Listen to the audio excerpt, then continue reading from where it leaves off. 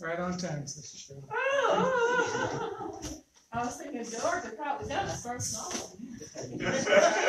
yeah.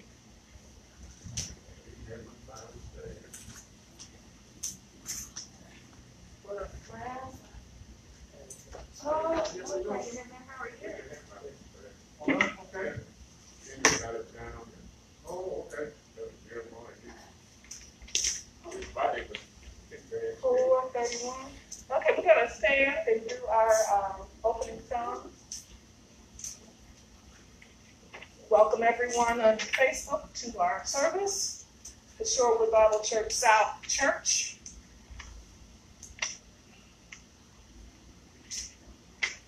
And uh, please feel free to sing along.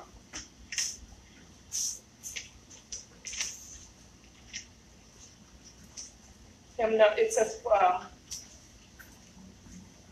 431.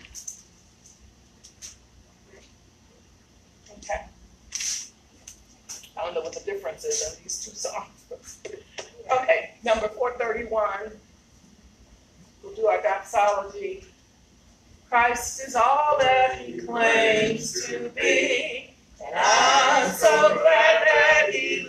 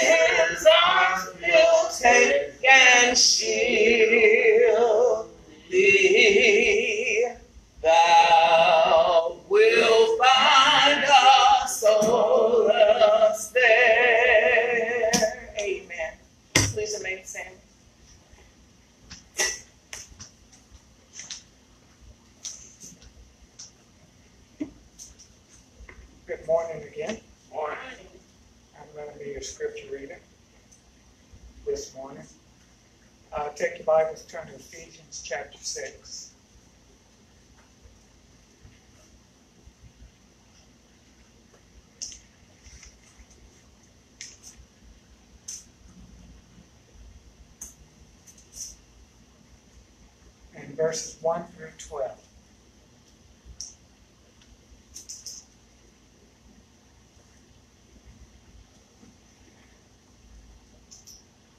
Ephesians chapter 6, verses 1 through 12. We'll read responsibly and together on verse 12. Children, obey your parents in the Lord, for this is right. Honor thy father and thy mother, which is the first commandment That it may be well with thee, and thou mayest live long on the earth.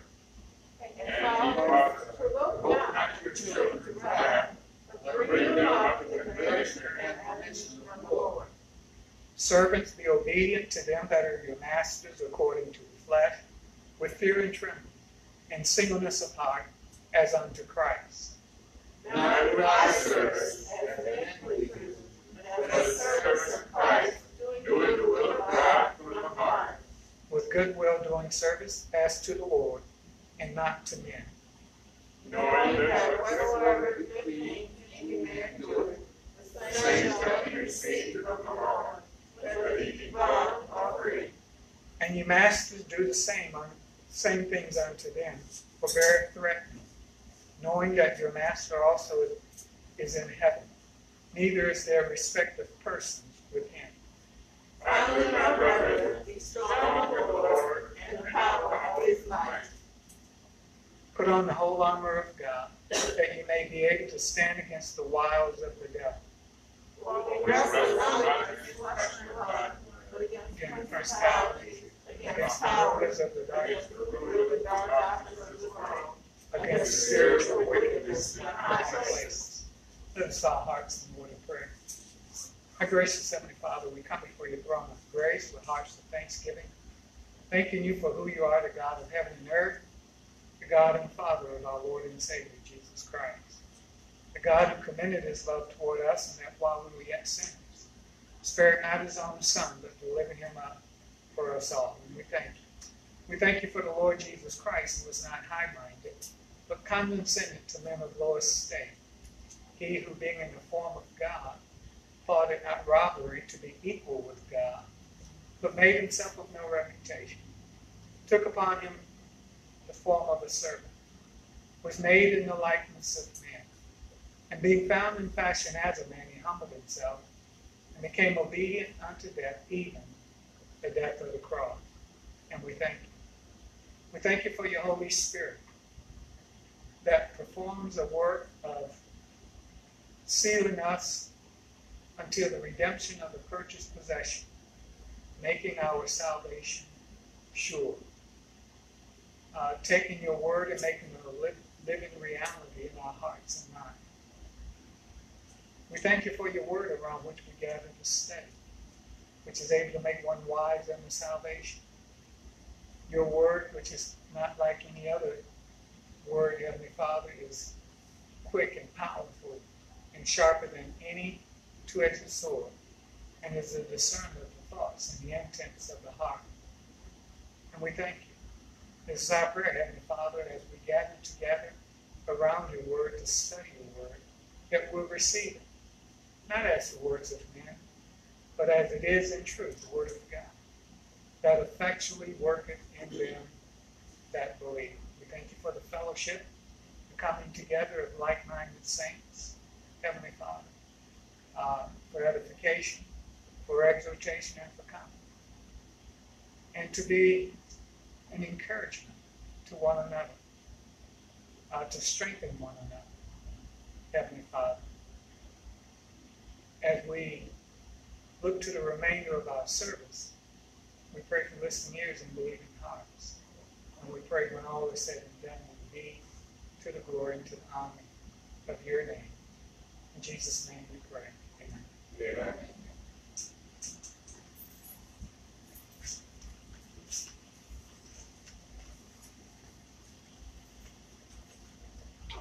the next song is Stand Up for Jesus, number four seventy-six. And we'll do one and four. Four seventy-six, number one and four. Everybody got it? Stand up, stand up for Jesus, ye soldiers of the cross. Lift high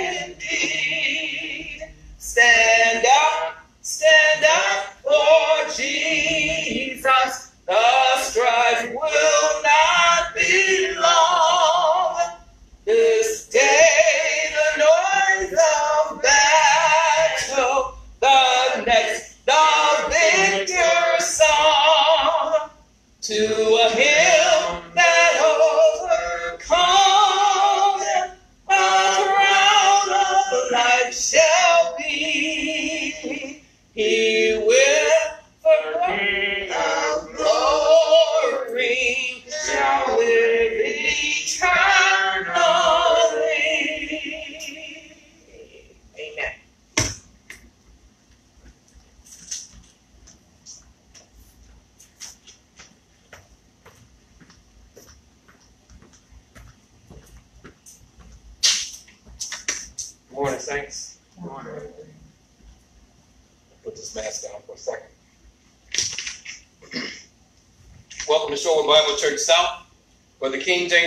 Says what it means and means what it says. Amen.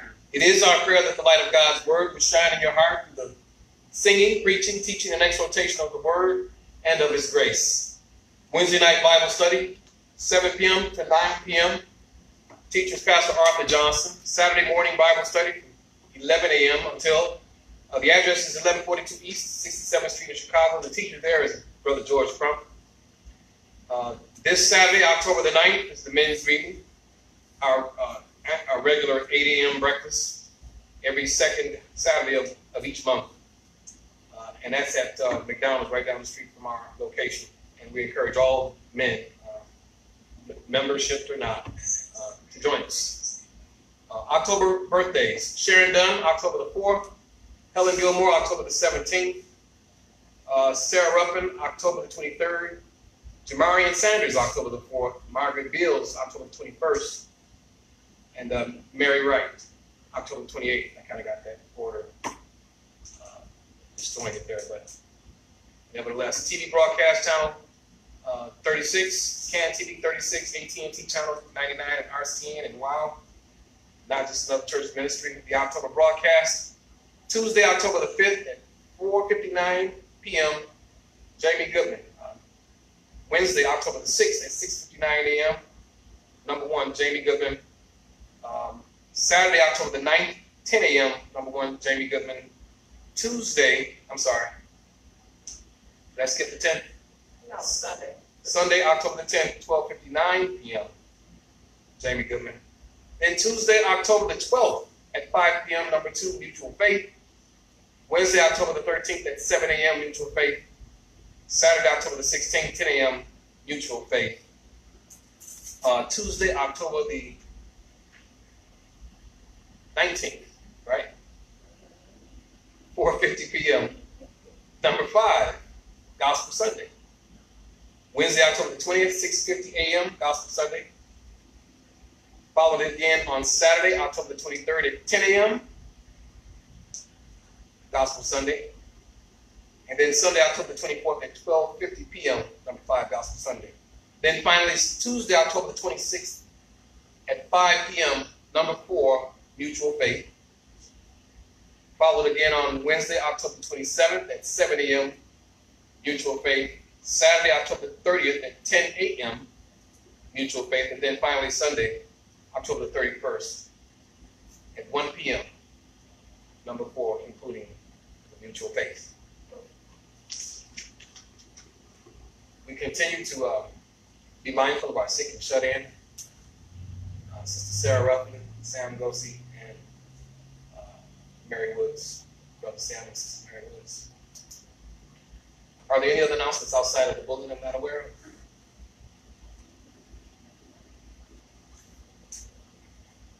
Okay. Gotta step into the role of Brother King now.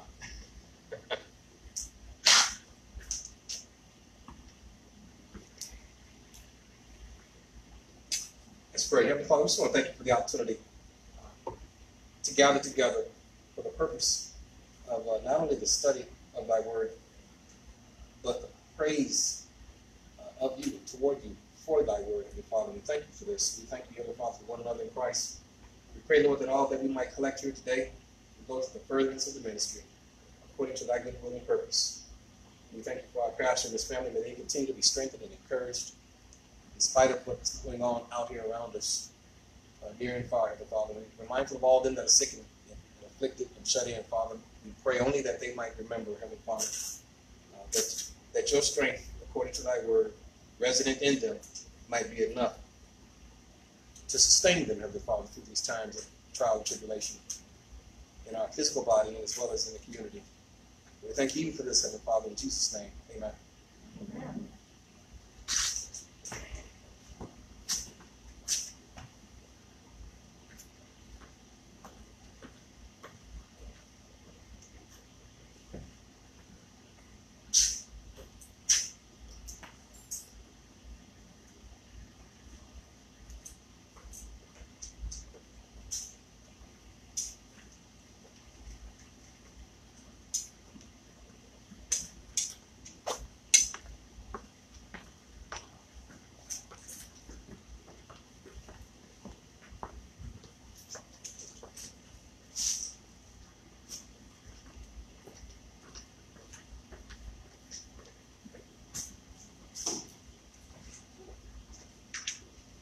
Okay, we're gonna stand for our next song, which is "Tis So Sweet to Trust in Jesus." Amen. Number three sixty-eight. "Tis so sweet to trust in Jesus our Lord," and we'll do uh, one and four.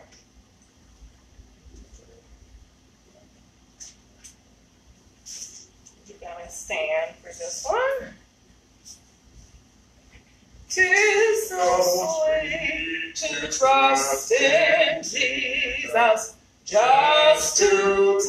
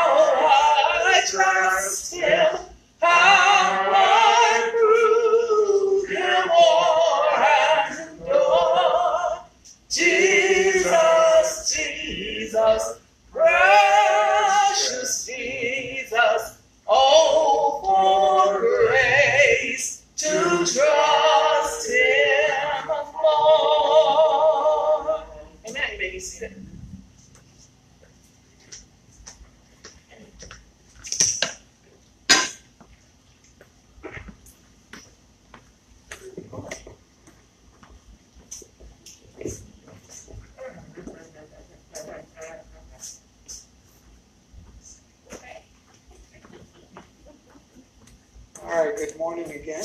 Morning. Take your Bibles, turn to First Corinthians chapter 2 and verse 2. This is Gospel Sunday, and uh, we will focus our attention on a gospel matter. First Corinthians chapter 2 and verse 2. That was a little pamphlet or booklet Pastor Cornelius or Pastor Cornelius R. Stam wrote entitled Simple as Can Be. Simple as Can Be. And it was a booklet about the subject of salvation, subject of the gospel, a, su- a subject of the various gospel messages. Anyone considering the question, what must I do to be saved, are confronted with.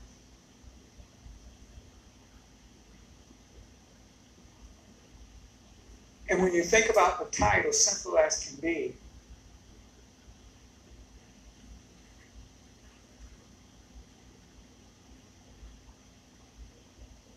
when Christendom gets involved, then it's an entirely different concept. It, it becomes very complex Yeah. and confusing.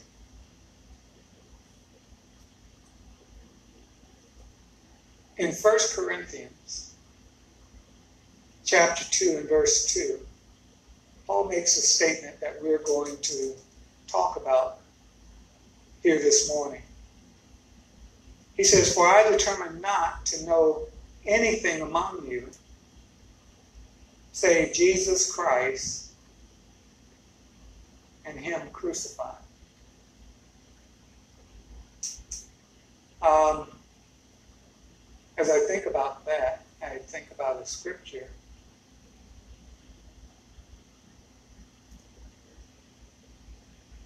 I believe it's 2 Corinthians chapter 11. In verse 3. When Paul says, I determined not to know anything among you save Jesus Christ and Him crucified, that simplifies everything.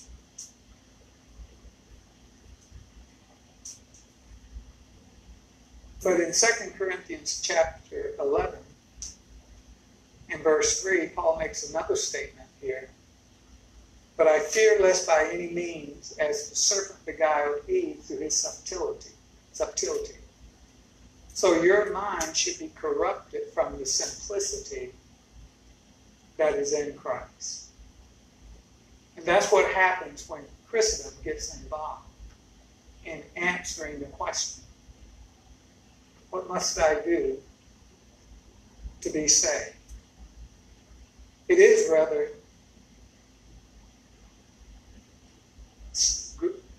great simplicity, a very simple approach. If you take into account some matters in Scripture. Now, I want to bring some clarity. I might sound like another voice. And, and in fact, the world you and I live in, we don't live in a vacuum. Uh, we don't live in a world where there is only one voice speaking. Uh, we live in a world where there are many voices speaking. And that fact alone is what complicates the answer. What must I do to be saved?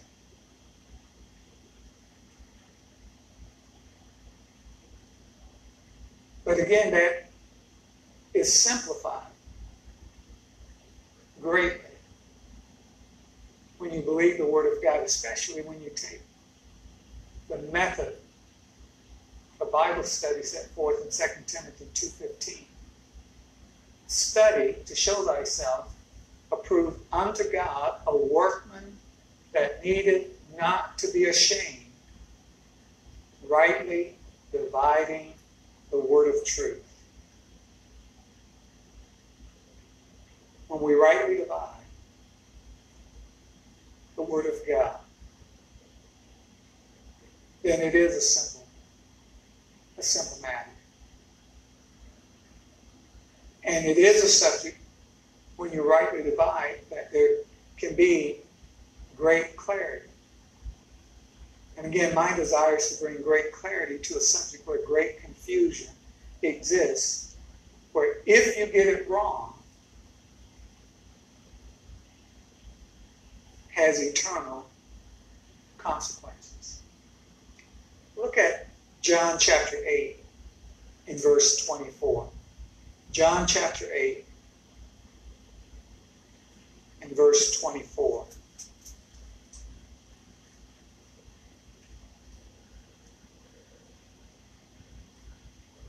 In John, in the Gospel of John.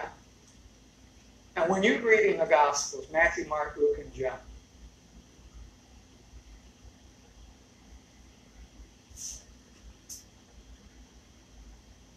a key that must be taken into account so as not to become part of the confusion, not to become prey to the confusion. You want to keep a verse like Romans 15 8 in mind when you're reading the gospel. Mm-hmm. Paul looks back at the Gospels and he says, Now I say that Jesus Christ was a minister of the circumcision for the truth of God to confirm the promises made unto the fathers. That is an idea, that is a concept that you must take into account. Now, I say that especially in the light of John chapter 8 and verse 24, when Jesus said, I said therefore unto you.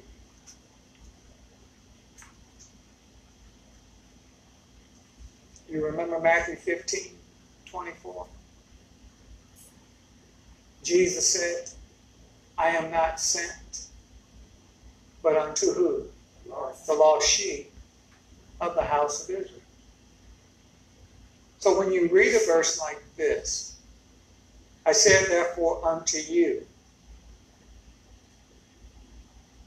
You who? Who is Christ speaking to? Israel.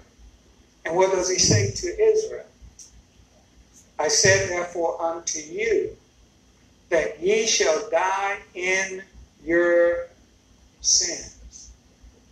For if ye believe not that I am he, ye shall die in your sins. Now, my first and most important point here is that if you get this question about what you must do to be saved wrong, it has eternal consequences. It had eternal consequences for who? According to this verse. Had eternal consequences for Israel. He said, Unless ye believe that I am He, ye shall die in your sin. Look at Matthew 16.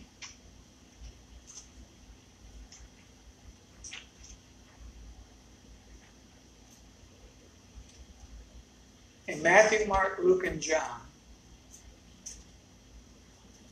the issue is not Christ and Him crucified. Again, I say the issue in Matthew, Mark, Luke, and John is not Christ and Him crucified. In Matthew 16, beginning at verse 13, When Jesus came into the coast of Caesarea Philippi, he asked his disciples, saying, Whom do men say that I, the Son of Man, am? Now, what did Jesus say in John 8? Unless ye believe that I am He, ye shall die in your sins. So, what's the question in Matthew, Mark, Luke, and John? Whom do men say that I, the Son of Man, am? Who is Jesus? Who is the man? Christ Jesus. Verse 14, and they said, Some say that thou art John the Baptist, some Elias, and others Jeremiah or one of the prophets. He saith unto them, But whom say ye that I am? And Simon Peter answered and said, Thou art the Christ, the Son of the living God. Unless ye believe that I am He, ye shall die in your sin. The question for Israel, the question for Israel was who is Christ? Who is Jesus, brother? In verse 16, and Simon, I rather, we read verse 16. Uh, verse 17, and Jesus answered and said unto him, Blessed art thou, Simon Bar-Jonah, for flesh and blood has not revealed it unto thee, but my Father which is in heaven. But unless ye believe that I am He, eternal consequences. If you get the question, what must I do to be saved? The answer to the question, what must I do to be saved? If you get that wrong, but if you're reading a verse like John 8 24, the question for Israel was, Whom do men say that I, the Son of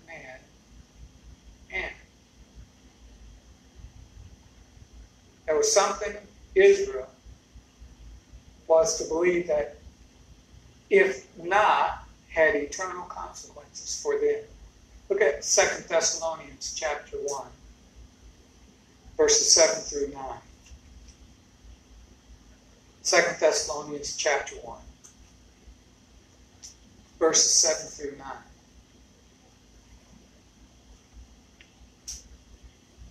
And the Apostle Paul writes here, well, let's start back at uh, verse 3. Verses 3 through 9.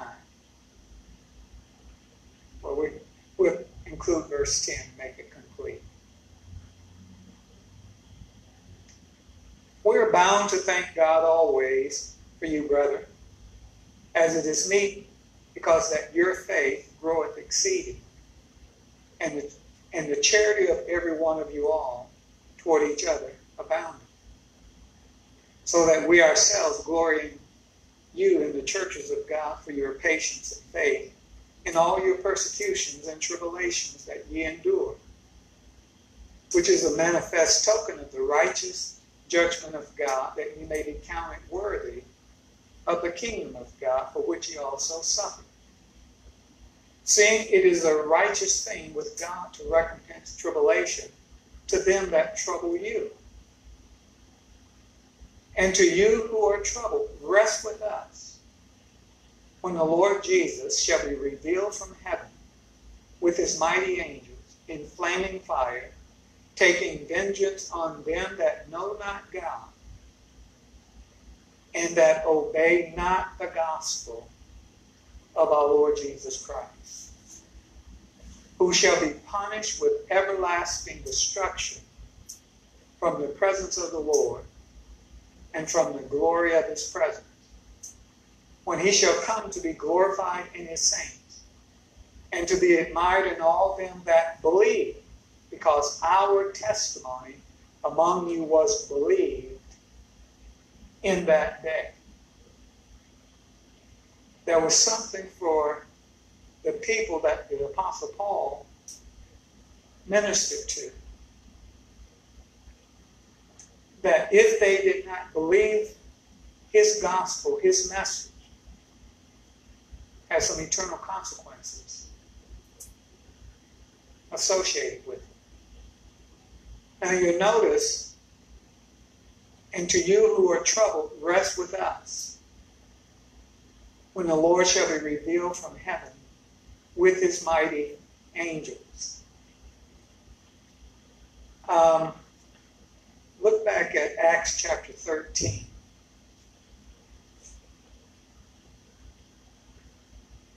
Acts chapter 13.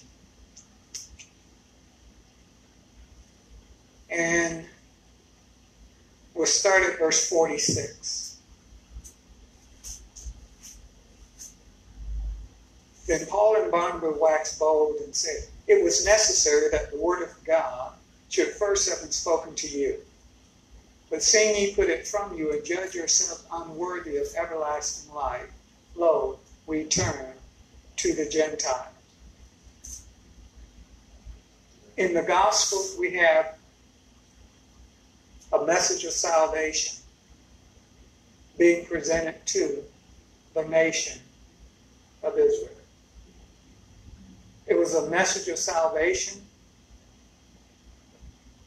that centered in the identity of Jesus as the Christ, the Son of the living God. Israel rejected that message of salvation to them. The results of Israel's rejection, remember what Jesus said, ye shall what? Die in your sin. Which again would have spelled eternal consequences for their rejection. In fact, in prophecy, the wrath of God was to be God's response to Israel's rejection Of the Lord Jesus Christ.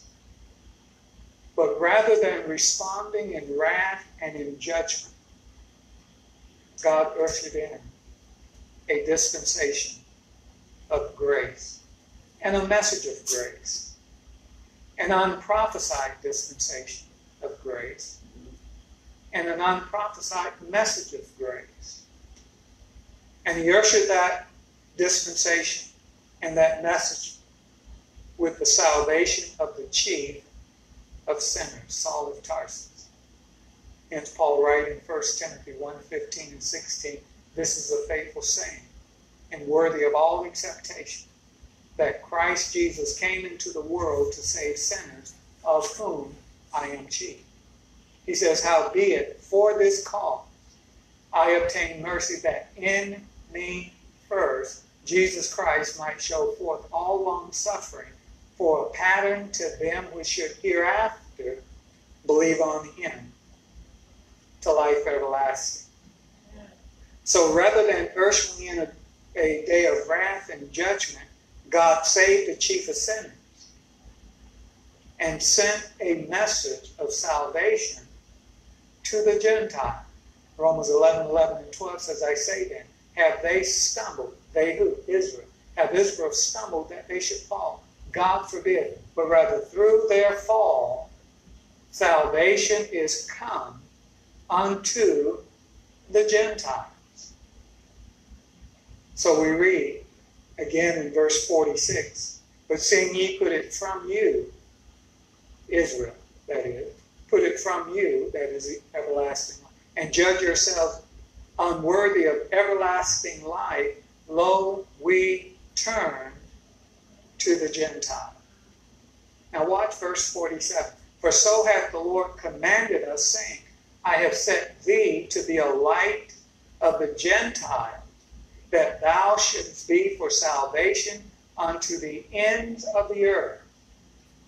And when the Gentiles heard this, they were glad and glorified the word of the Lord.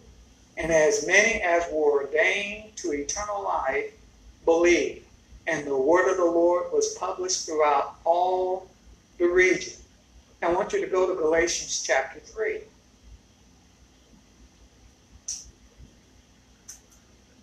So God raises up a new apostle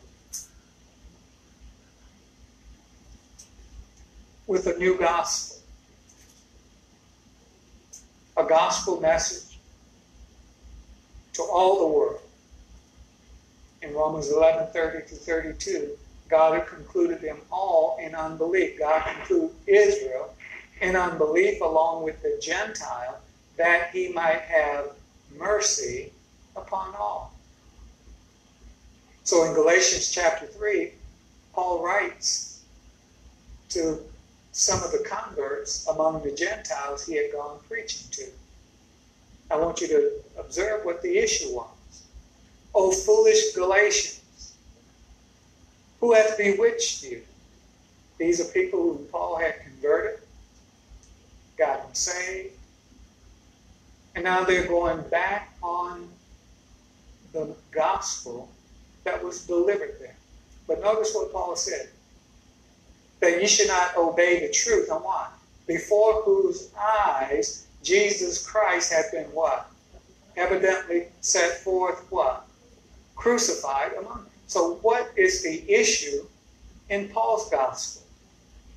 Christ and Him crucified. Not whom do men say that I, the Son of Man, am. But here it is an issue of Christ and Him crucified.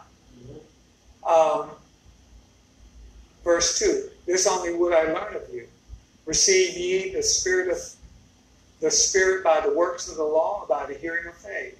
Are you so foolish, having begun in the Spirit, are you now made perfect by the flesh? I don't need the rest of that. I, just wanted to make the point that uh, go back to Second Thessalonians chapter 1. So when Paul says, and to you who are troubled, rest with us. Paul is talking about a distinct community of believers, unique to the dispensation of grace, who are suffering for their faith in Christ and Him crucified. And for those who rejected Paul's gospel, and by the way, what's, what's my point here? We see in Matthew, Mark, Luke, and John one gospel. Beginning with Paul, we see another gospel. They're not the same. But both are scriptural. Both messages are messages from God.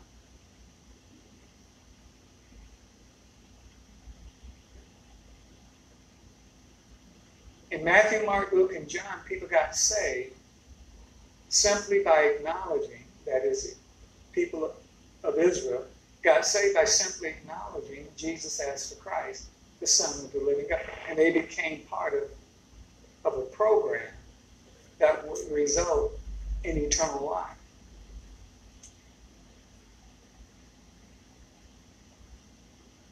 If you believe that that's how God saves you today, it will not make you part of a program that will result in eternal life. It'll make you religious. You will find scriptural information about what you believe, but it won't save you. And you have to make that transition, that shift from the gospel of the kingdom to the gospel of the grace of God. And again, my point here people aren't dying and going to hell because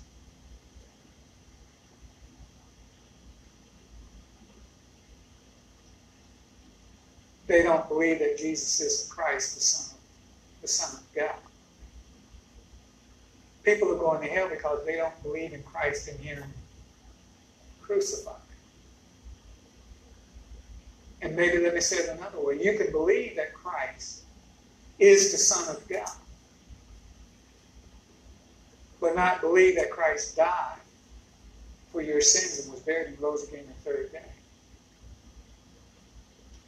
And you'll still go to heaven. Because the issue today is Christ and Him. And the message of Christ and Him crucified is different from whom do men say that I, the Son of Man, am. It's dealing with an entirely different issue, an entirely different matter. It's not dealing with kingdom. In Romans 5, in verse 12, Paul wrote, Wherefore is by one man sin entered into the world, and death by sin, so that death passed upon all men, for that all had sinned. The issues have changed. And the consequences of not acknowledging the gospel of the grace of God can result in an eternal damnation in hell, regardless of how scriptural you might be in every other respect. Because the issue today is Christ and Him crucified. And if you do not believe that, or you confuse, and let me, let me, by the way, let me just add this. If you mix the two messages, you corrupt. And you believe in something God never gave you to believe. And you can come, you can have the seemingly security and comfort and believe in a mixed message because it's like trying to have it both ways. It's trying to have it every which way. And think you got all your bases covered, therefore you think, no, that's not faith. Without faith, it is impossible to please God. Now, let me just move on because time is getting away. So, what about, what do we, for I determined not to know anything among you save Jesus Christ and what? Crucified. So, what I want to talk to you about basically is the way of salvation, the path, the plan of salvation, and it is set forth in God's Word through the Apostle Paul. And I have to add that, I have to qualify that with such a statement because it matters. All the Bible is for you, but it's not all to you. All the Bible is for you, but it's not all about you. And if salvation truly is going to be simple, you must rightly divide the word of truth. So salvation, what I want you to learn about salvation, that it is the gift of God and can only be received by faith in Christ and Him crucified. Now, again, if you're still there in 1 Timothy 1, or you're in Thessalonica, 1 Timothy 1, go over one book. 1 Timothy chapter 1, and I want you to note the last statement in verse 7 and verse 16. And Paul talks about being a pattern of the long suffering of Christ to them which should hereafter, after him. Paul marks that dividing line between what God was doing, Matthew, Mark, Luke, and John, and what God is doing today in the dispensation of grace, Romans to Philemon. To them we should hereafter what? Believe on him to life everlasting. Now, life everlasting, Christ is the key to everlasting life, whether you're in Matthew, Mark, Luke, and John, whether you're in Romans to Philemon. The Lord Jesus Christ is the key to life, to, ever, to, to everlasting life. But in Matthew, Mark, Luke, and John, he's the key to everlasting life according to prophecy. in Romans to Philemon, he's the key to everlasting life when you view him uh, according to the revelation of the mystery. And that's Romans 16 25 and 26. And again, people fail to rightly divide the word of truth, tend to merge those two gospel messages together and produce a gospel God never gave to preach. It sounds good. Sounds scriptural. I mean, you know, you got you got verses that talks about the identity of Christ, and then you got verses that talks about the crucifixion of Christ, but without distinction. And you just put it all together, and it seems like it, you know, it all fits. It just seems naturally normal. It's not. And your eternal life hangs in the balance of in distinguishing between those two gospel messages. That's why it's rightly dividing what? The word of truth. What you've got in Matthew, Mark, Luke, and John is what? Truth. What you have in Romans to Philemon is what? Truth. But they're different truth to different people at different times with different requirements, or, uh, as it were parallel issues, but most certainly different messages. Um, salvation is the gift of God, again, and can only be received by faith in Christ and Him crucified today. You cannot get saved no man is saved apart from believing in Christ and Him crucified today in the dispensation of grace. Now, that being said, people are confronted when they read Scripture, and this is why, again, 2 Timothy 2.15 is such a critical verse to keep in view when you're reading and studying this this matter. Look at Matthew chapter 19.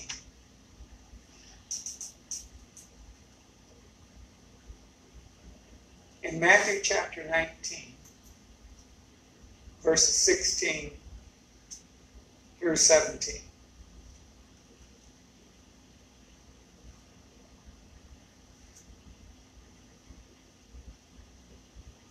And behold, one came and said unto him, Good master, what good thing shall I do that I may have eternal life? Now we're talking about, again, the way of salvation, the path to being saved, or the plan of salvation. Okay? And so you got a guy here during the earthly ministry of the Lord Jesus Christ that raises the question What must I do? Uh, to have eternal life. Now, I think it's noteworthy that he is conscious or aware of the fact that there is such a thing as eternal life.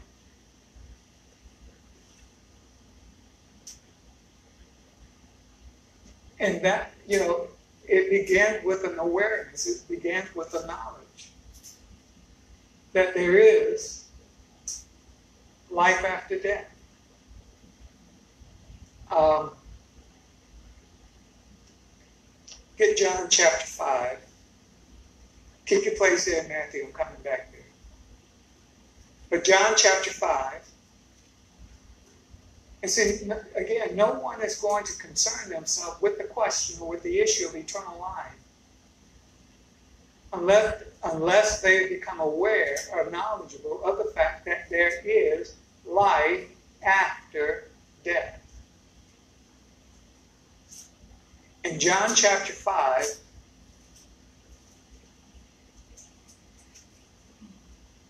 beginning at verse 20, uh, let's start at verse uh, 26. Well, let's start at verse 25.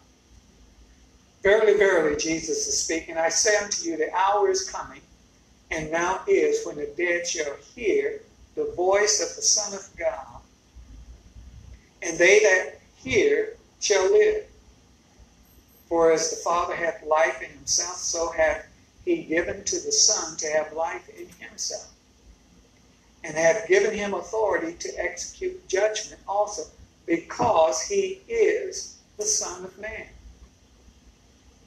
Marvel not at this, for the hour is coming, in the which all that are in the grave shall hear his voice, and shall come forth they that have done good unto the resurrection of life, and they that have done evil unto the resurrection of damnation. Until an individual becomes knowledgeable of the fact that there is life after death.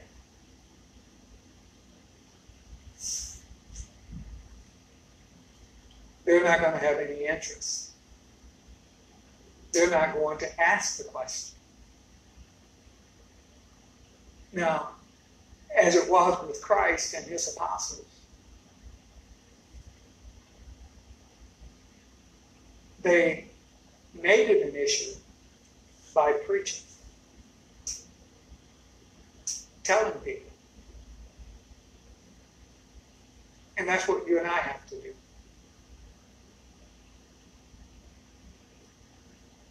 Eternal life is not an automatic, the, the question or, or the issue of eternal. And again, the world that you and I live in is full of human, human wisdom, human viewpoint. Do you think people are confused about all the, the different religious voices out there? Throw in the non-religious world, philosophies and ideas. And you really complicated matters. And you don't know what to believe. But in such a world, God provides his own testimony for the world to, to consider. God provides his own testimony to weigh, to raise people awareness of what they're actually faced with in life. I mean, people are trying to figure life out, and they got all these ideas about what life is all about. Well, again, God has raised up his own testimony and witness to make them aware and to provide them reasons why. And, and, and with that in mind, look at Acts chapter 17 real quick, I got to wrap, wrap this up here. We have communion this morning. But look at Acts chapter 17. Now, you have God's Word. You have many typical truths in God's Word to teach principally the nation of Israel and by, by Israel, by proxy through Israel, to teach the world about, ever, about eternal life.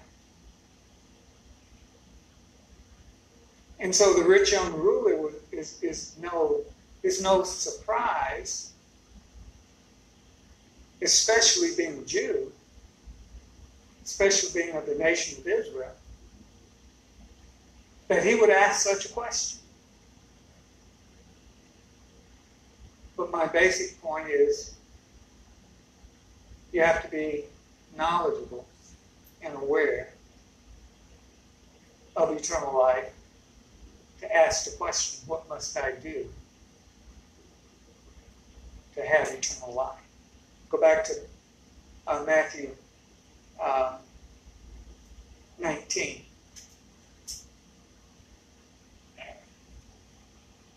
Verse 17. Oh, I told you Acts, didn't I? Yeah, I'm sorry. I was conscious of the fact my time is up. Uh, Acts 17, in verse 31. Well, let's start at verse 30. And the times of this ignorance God winked at. And that's when men were just given up to their own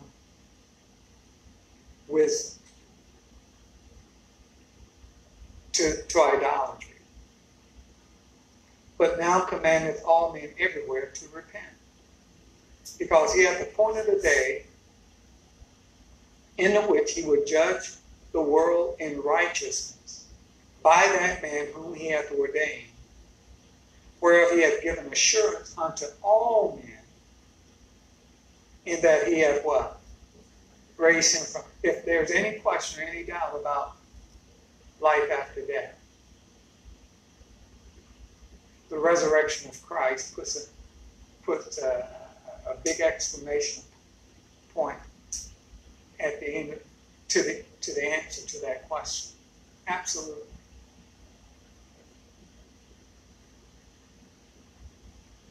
So in Matthew 19, let me just kind of finish this thought.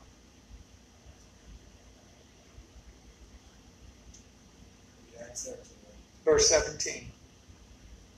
Matthew 19, verse 17. And he said unto him, Why callest thou me good? There is none good but one, that is God. Either I'm God, there's nothing good about me. Okay? And that's the only two choices you have when it comes to Christ. Either he's God, or there's nothing good about him.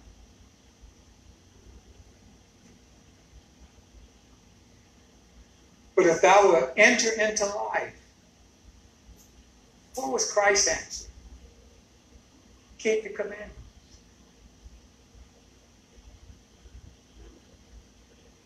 Now, Paul says, I determined not to know anything among you save what?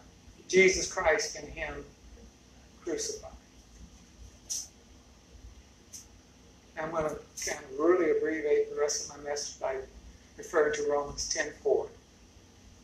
Now, Christ is the end of the law for righteousness to everyone that what? Believe. To the Jew first, and also to the Greek or to the Gentile. Salvation is the gift of God. But God commended his love toward us, and while we were yet sinners, Christ died for us.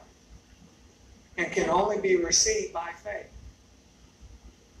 Because everything that needed to be done was done by the Lord Jesus Christ.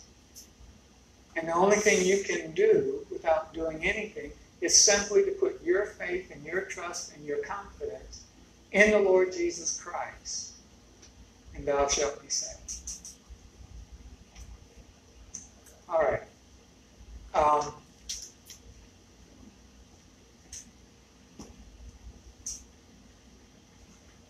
if you haven't trusted Christ personally as your Savior, then don't let the moment pass because what is your life? It's even a vapor. It appears for a little while and then it vanishes away. Now is the accepted time. If you understand what God requires for you to be saved, then do that. If you don't understand, then seek somebody out to help them give you greater clarity. And then believe on the Lord Jesus Christ, and thou shalt be saved. All right. Um, we're going to prepare for our communion service. And so we're going to be exiting Facebook at this time.